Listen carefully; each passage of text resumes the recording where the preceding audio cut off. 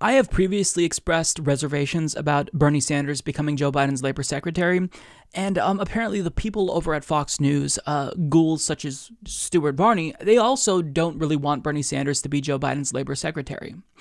But for completely different reasons than I have. Take a look. Yeah. Bernie Sanders. Mm-hmm. Bernie Sanders, the socialist, he wants to be Labour Secretary if Joe Biden gets elected.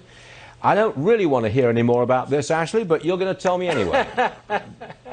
yes, I am. Why not? Uh, people familiar with conversations claim Sanders has been making a push for the top job at the Labor Department, reaching out to allies on Biden's transition team, touting the need for progressive voices in a new administration. It's right up your alley, Stu.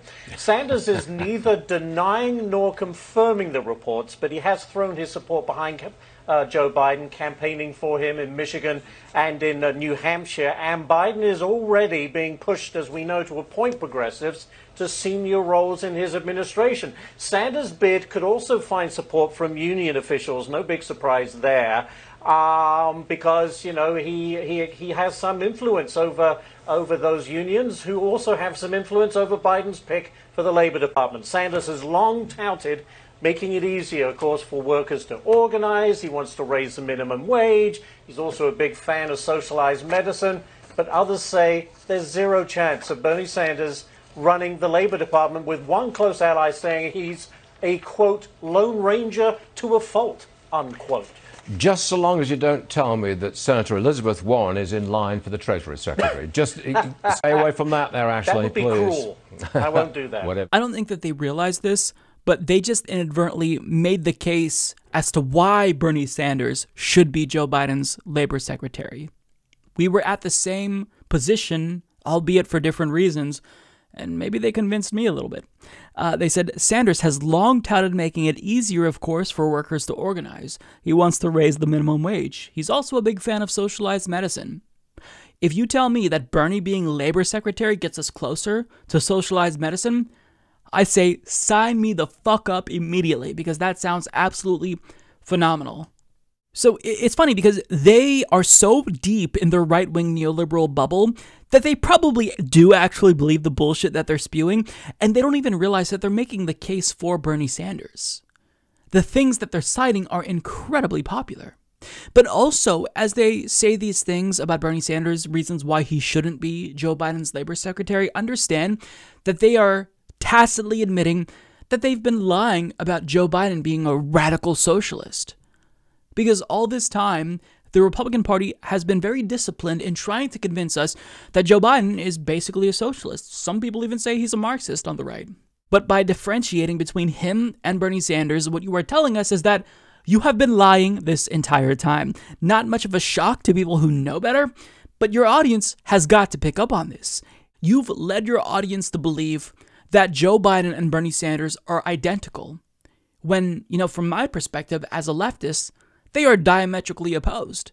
Joe Biden, ideologically speaking, is more aligned with people like Stuart Varney than he is with Bernie Sanders or myself. So it's interesting because Stuart Varney, in theory, he has an ideal candidate in Joe Biden. They agree on quite a bit. Joe Biden is a neoliberal. Stuart Varney is a neoliberal. They both believe in free market solutions to policy problems. They don't believe that we should opt for more public ownership. They think that uh, everything should be uh, controlled by private multinational corporations. Governance is about less government and uh, you know more about empowering individuals, less collectivism.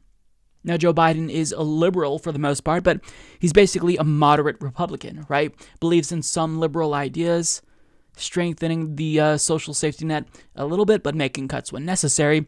So it's shocking to me that Fox News, all this time, has been pretending to be so outraged about the threat that Joe Biden poses because he's a socialist when Joe Biden is not a socialist. I wish he were a socialist because if he were a socialist, I would actually be excited about him being the president but I'm not. I'm dreading it. Joe Biden is just not Donald Trump. People are not supporting Joe Biden because uh, they love Joe Biden, they're pro Joe Biden, I think he's going to usher in this era of change and prosperity. They support Joe Biden because he's not Donald Trump. So the fact that, you know, Republicans are so anti Joe Biden, it just reveals how hackish they are. Stuart Varney is a hack. Again, Joe Biden is more ideologically aligned with people like Stuart Varney than he is with Bernie Sanders. But because he has a D in front of his name, well, Stuart Varney, that's more than enough. That's more than enough. You can put a D in front of uh, Donald Trump's name, Mitt Romney's name, uh, any Republican's name, and all of a sudden, these hacks at Fox News would oppose them just because they have a D next to their name. They're quintessential hacks.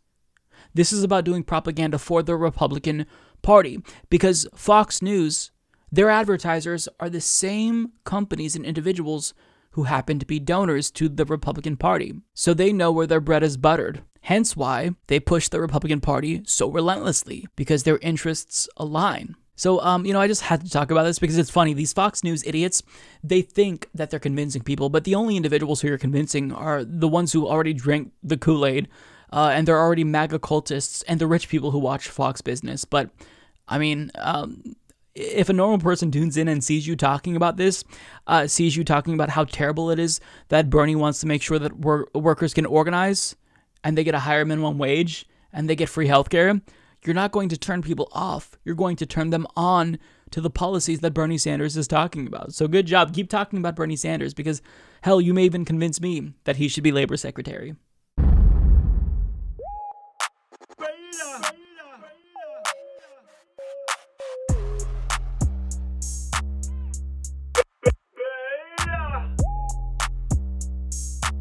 Alpha male, not a beta male.